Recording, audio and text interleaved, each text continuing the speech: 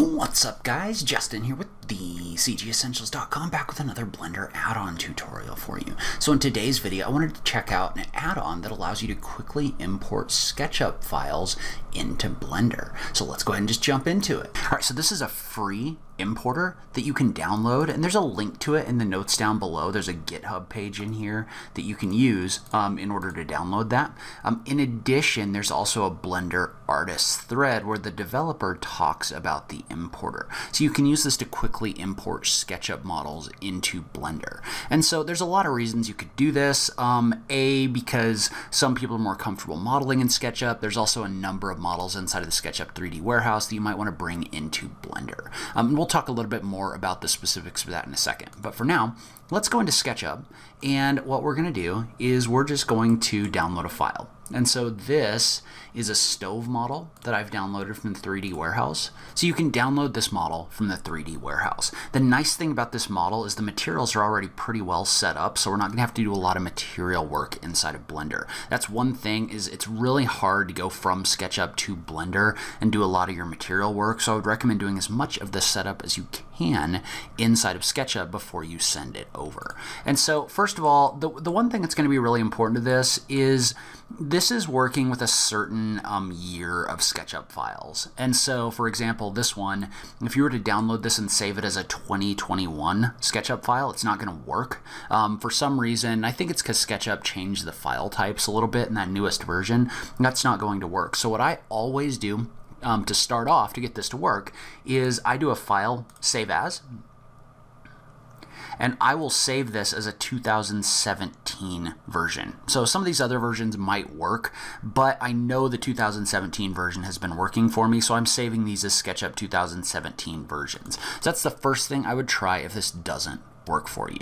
And so inside of Blender, what we're going to do is we're just going to install that add-on. So you're just going to go to Edit, Preferences, and I've already installed it, but you just want to install that zip file. And so let's look for, there we go.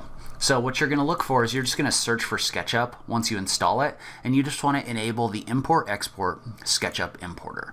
So, and there's some buttons in here for documentation. So I believe this is just going to take you, that'll take you to the GitHub page, but then it's going to tell you to go to the Blender Artist Community thread if you have any questions.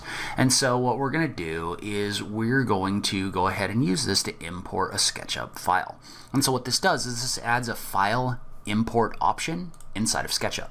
So if we go to File, click on Import, there's an option down here for Import SketchUp Scene. So then we're going to find the folder where our files are located and we want to find the model that we want to bring in. So this one, for example, this is a 2021 version of that stove. Notice how if I double click on that, nothing happens. It doesn't bring that in because this doesn't work with 2021 files. So what we want to do though is we want to find this 2017 version and bring this in. And so note that there are some options over here on the right hand side. So for example, you can bring in the camera view if you have multiple scenes saved in SketchUp as cameras. So you can also set this so whatever your last view was gets imported as a camera view if you want to do that. Um, there's a box in here for use existing materials. I always leave that checked. And then groups only and reuse groups. I'm going to go ahead and leave that alone for right now. Um, so what we want to do is we want to click on the button for Import SketchUp. What that's going to do is that's going to bring this file in. And notice how this file actually looks pretty good. And so if we look at this, what this did is this brought in all of the different pieces of geometry as different, uh, different meshes inside of Blender. And so what that means is that means that now we have an object in here that we can edit, we can move around, um, scale it, all those different things. Now, one tip that I have for you because this can get a little bit clunky right? Because you've got all of these different objects in here, if you wanted to move them around, so if I wanted to like select these and move, or if I wanted to move this whole thing, what I would have to do is I would have to select them all. Otherwise, I'd be moving the individual meshes, right? So I would have to make sure to select everything before I make any changes.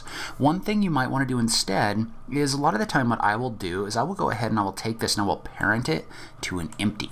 So what I'm going to do is I'm going to do a Shift A, and I'm going to add an empty. And I'm just going to bring in a plane axes. And I'm going to move that so that it aligns with this corner. I'm going to turn my vertex snapping on real quick.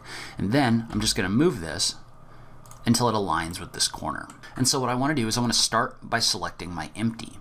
And then I want to hold the shift key and drag a box over the rest of this object. That's going to select everything else. And then we just want to do a control P. That's going to parent this to the object you had selected when you selected everything else. So I'm going to set parent to object right here. Well, what that's going to do is that's going to take all of this and that's going to parent it to this empty. Meaning now, instead of having to select all of this different stuff, I can just click on the empty and move that around. And um, my model is going to be parented to that, so any movement that I apply to that empty is also going to be applied to the overall model. So that's one thing that can be really helpful. And if you don't want all these dotted lines in here, because these dotted lines are showing you that these objects have a relationship to this, if you don't want those, you can just go up to your settings and just turn off relationship lines, just like that. So a couple other things, um, like for example, editing materials. So editing materials can be really tricky inside of a SketchUp model because they're usually not modeled with quads, they're usually modeled with tris. And uh, so it's really hard to unwrap them or anything like that, which is why I really recommend trying to set up your materials as much as possible inside of SketchUp because um, making these changes can get really tricky. Now what you can do is you can tab into edit mode and select different faces like this and then go into your UV editing and you can, so you'll have these faces selected like this. You can come over here and you can select those and you can move them around and you can see how your material is going to move around on the face as well. So by manually selecting faces, you can move things like this around really easily. Um, but doing anything really complex with unwrapping is going to be pretty much impossible just with the way that the meshes come in. So you can make some minor changes, but not necessarily major changes um, with the way this is set up. I mean, you can try, but it's going to be a lot of extra work. Um, side note, I have no idea why this little block right here came in darker than everything else. It's not darker in the texture image. So if any of you know why that might come in a little bit darker, um, I'd love to hear the answer to that. All right, so another issue I've had is with some larger models, I've run into issues where sometimes the models won't import.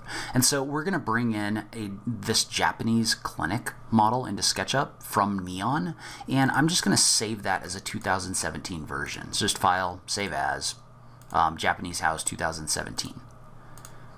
So if I am inside of Blender and I try to bring this model in, if I do a file, import, and I try to bring this in, it doesn't come in. It gives me an error message, right? So it gives me this big old error message. I'm not 100% clear what causes that, but on some larger models, what I've found fixes that is if you click on this and adjust your threshold right here. So if I take this threshold from 50 and I bump it up to 1,000 and then bring this file in, it'll come in okay. So I'm not really sure what causes that, if that's like the number of groups that are in the model or what, but by bumping that up, you may be able to bring in larger models. And so one thing I would highly highly recommend is try to get your materials mapped on your faces properly inside of SketchUp before you export this. It's just a mess trying to come in here and fix all of these later. Like notice how the tiling just doesn't look very good on this. I mean, you could come in here and try to manually do some stuff, if you wanted to using the UV editor, but it's just going to be horribly time consuming. Like I could um, project this from my view and then come in here and adjust these so that they're not lined up so that they're not exactly aligned in here, but you can see how it's just a giant mess because of the way everything is modeled, and it's just going to take you a ton of time to unravel all of that. So I would really recommend inside of SketchUp fixing all of those texture issues like tiling in your model itself before you bring them in. It's just going to be a lot simpler.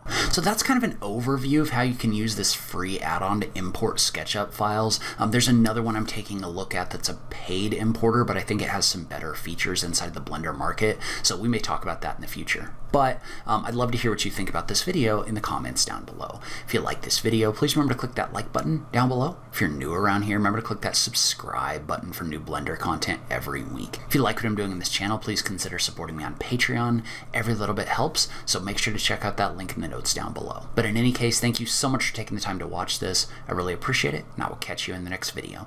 Thanks, guys.